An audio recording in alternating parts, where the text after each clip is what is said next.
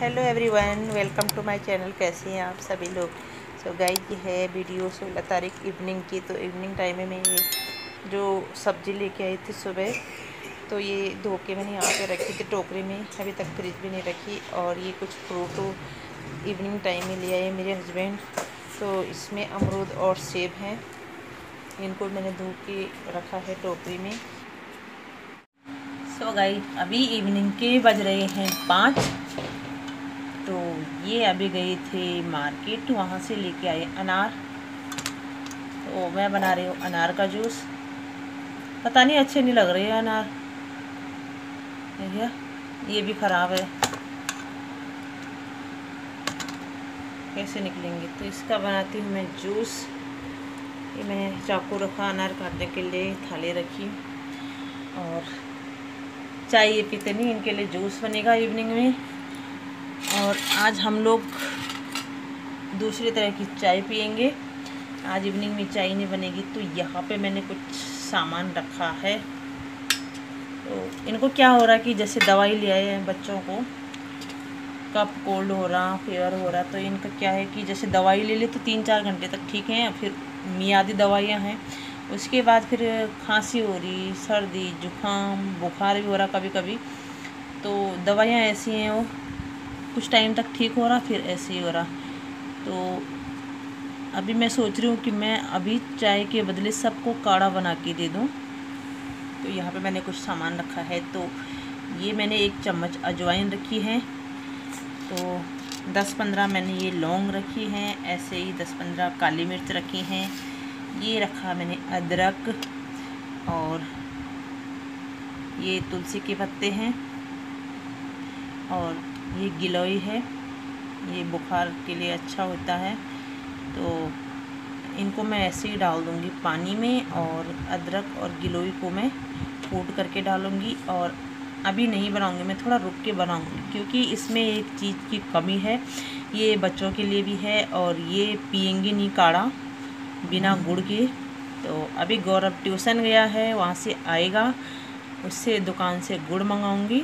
तब तक मैं अनार छील लेती हूँ जूस बनाने के लिए। तो इसमें गुड़ भी चाहिए अभी तो उसके बाद मैं बनाती हूँ काढ़ा। आज चाय के बदला यही होगा। चाय नहीं बनेगी, आज बनेगा काढ़ा। ये देखो, एक थोड़ी देर ठीक हो रही, फिर उसके बाद ऐसे ही हो रही। अभी सोई थी, अभी उठी। और खाना भी नहीं खाया आज इसने। और देखिए, खांसी भी हो रही है। तो देख ऊँट देखो, इसके ऐसे सूखे हुए हैं, इसके। मेरा प्यालू मेरा प्यालू है। इसके ऊँट सूख। गए क्योंकि खाना खाने का मन ही नहीं कर रहा है, बच्चों का। बिल्कुल भी नहीं खा रही है।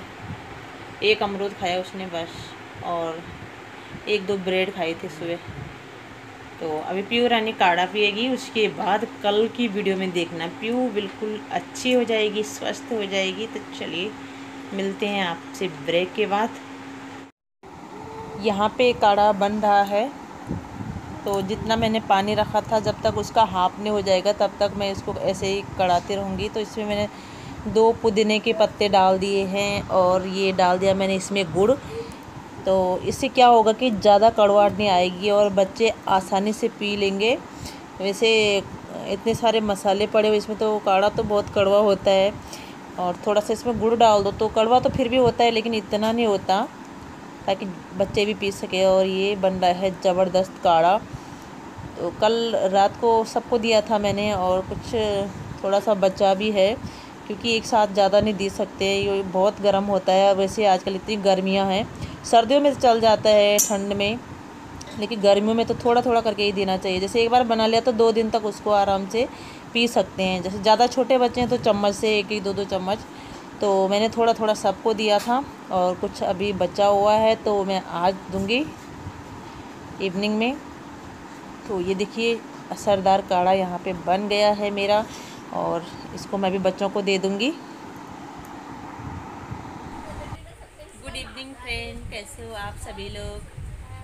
अभी इवनिंग का टाइम है और टाइम कितना हो रहा मुझे पता नहीं। लेकिन साढ़े पाँच, छः के बीच का टाइम है। इस वाले रूम में घड़ी नहीं है, दूसरे वाले में है फ़ोन में मैंने देखा नहीं। यहाँ पे प्योर की, मैं इससे बहुत गर्मी हो रही थी, इसकी मैंने अभी बनाई हैं दो चुटिया, और ये चुटिया नहीं बनाने देती। इसी, अपनी पोनी दिखाओ।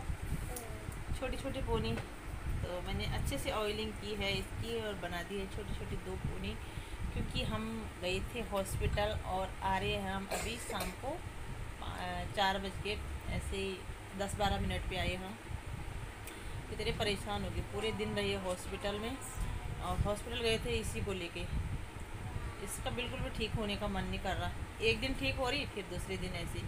कभी बोल रही खांसी, कभी बोल रही बुखार, कभी बोल रही नहीं है बुखार।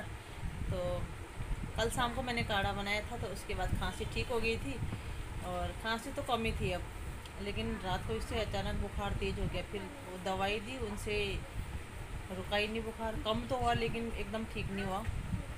तो फिर से वहीं ले गई, जहाँ पहले ले गई थी। डॉक्टर की पर्ची दे रही थी, कहा था कि अगर ठीक नहीं होगी तो दो चार दिन बाद फिर दिखाना। तो आज फिर लेके गई।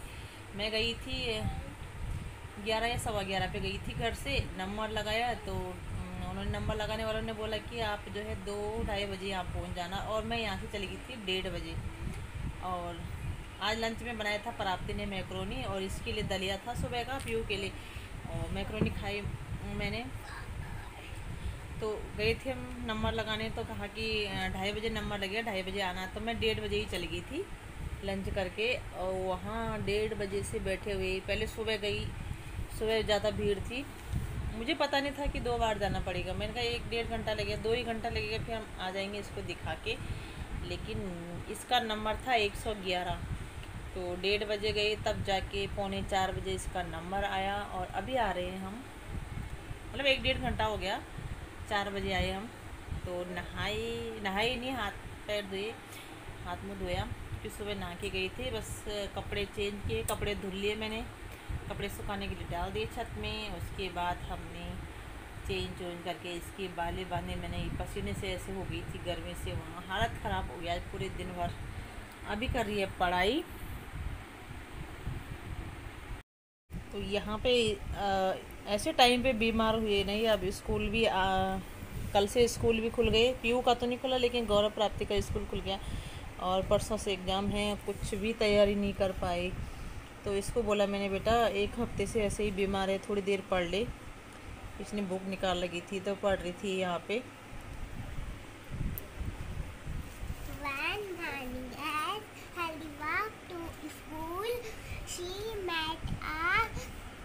A giraffe wore big glasses and uh, held a book if she and she he he he said he smiled he smiled and said good morning Aldi तो जो यहाँ क्वेश्चन है ना उनका आंसर पहले इसको पूरे से पढ़ लो तो उस इनका आंसर वही मिल जाएगा और मुझे बिल्कुल टाइम नहीं है अभी पढ़ाने का क्योंकि पूरा घर बिखरा हुआ। पूरे दिन लगा लो सुबह से ही थोड़ी देर के लिए आई थी मैं घर फिर चली गई थी दोबारा और मैंने इस दीवान के सारे कपड़े मॉर्निंग में ही निकाल देते अपना झाड़ू पोछा निपटाने के बाद। तो ऊँट भी देखा। अच्छा ऊँट भी देखा। तो मैंने दीवान के जितने भी कपड़े हैं, यहाँ फर्श में निकाल दिए थे, इतना ढेर लगा रखा था। उसके बाद हॉस्पिटल चल गई प्राप्ति तो हे भगवान, बोलना ही क्या। तो वो कपड़े ऐसे के ऐसे बिखरे हुए। तो अभी नहा धो के कपड़े धुल के मैं आ गई हूँ यहाँ पे, चाय पी मैंने। उसके बाद मैं इनको समेट रही हूँ। अब मैं अच्छे से रख दूँगी बेड के अंदर कपड़ों को। एक दो दिन वो सही रहेंगे, उसके बाद फिर यही हालत है मैं अलग अलग रखी थी सबके। ये पीऊ के रख रही थी और ये देख सकते हैं आप। ये देखिए, क्या कबाड़ खाना मचा हुआ है यहाँ पे। ये डेली वेयर के हैं जो कि बेड में रखे रहते हैं। और पीऊ तो मेरे से ले लेती है कपड़े जब नहाती है तो इसको तो मैं दे देती हूँ। पर ये दोनों अपने आप निकालते। तो ऐसा कर देते हैं, एक कपड़ा निकालने की वजह से मैं बहुत परेशान हो जाती हूँ। तो आज मैंने सुबह जो है जब पीऊ करने लाया था, इसका कोई कपड़ा मिल नहीं रहा था। तो मैंने सारे इधर उधर हो रखी थी, मैं सब नीचे डाल दी थी कि मैं इनको अच्छी तरह से रख लूँ सेटिंग से सबके अलग अलग तो तब से ऐसे ही यहाँ पे बिखरे हुए देख सकते हैं। और अभी इवनिंग हो गई, सुबह। इसने गिराई चाहिए कपड़ों में आ गई। ये देख लो इनकी, ये देखो। कर दिया ना काम तमाम। कपड़ों में आ गई चाय यहाँ पे। मैंने पूरी पी भी नहीं थी वो। थोड़ी सी उसमें बची हुई थी। कपड़ों में आ गई वो नीचे। ये हैं इनकी हरकतें, देख लीजिए आप। इन्होंने कर दिया मुझे परेशान। अब कहाँ जाऊँ मैं? बताइए। कितना देर लगा हुआ है। और ये देखिए, इसे ठंड लग रही है। ये क्यों पहना भाई? इधर दिखाओ। ठंड लग रही है। अच्छा पहनने का मन हो रहा है। कहीं जाओ, वहाँ से आओ, घर अच्छा साफ़ सुथरा समेटा हुआ मिले तो इतना सुकून मिलता है। खाने को ना मिले तो ना मिले, लेकिन घर समेटा हुआ है, साफ़ सुथरा है तो बहुत अच्छा लगता है। और ये मैंने सुबह ऐसे डाल दिए थे, यहाँ पे तब से ऐसे ही हैं। इनको समेट लेती हूँ मैं। और आज मैं पूरे दिन भर किसी की वीडियो भी नहीं देख पाई तो उसके बाद नाइट में ही देखूँगी कुछ फ्रेंड्स लोगों की। और वीडियो अपलोड भी इन्होंने ही की थी सुबह। तो चलिए आप लोगों से अलविदा अलविदा लेती हूँ। वीडियो पसंद आए तो लाइक कीजिएगा, कमेंट कर दीजिएगा और जो लोग फ़र्स्ट बार आए हैं, चैनल को सब्सक्राइब कर दीजिएगा। ये सिलेंडर प्राप्त नहीं भराया। सिलेंडर वाला भी आया था, मैं घर पे नहीं थी। तो जल्द ही मिलेंगे नए ब्लॉग में, नई सुबह के साथ। तब तक के लिए बाय बाय